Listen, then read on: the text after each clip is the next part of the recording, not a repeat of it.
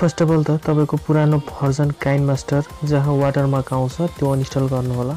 काइन मास्टरको न्यू भर्जनको लिङ्क म इन्ड अफ द भिडियो तपाईँलाई सेयर गर्नेछु। अहिले चाहिँ जस्ट तरिका देखाइरहेको छु।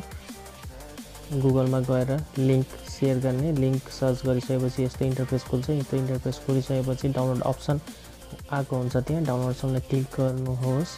आफ्टर द्याट डाउनलोड हुन अलिकति प्रोसेस लाग्छ। If your internet is very good चाँडै नै हुन्छ।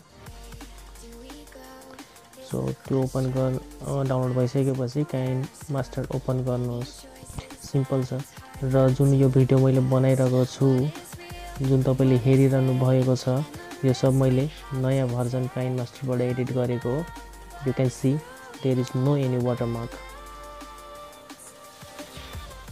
link पाउनको लागि प्लिज डिस्क्रिप्सन एकचोटि चेक गर्नुहोला। मैले डिस्क्रिप्सनमा लिङ्क दिएको छु।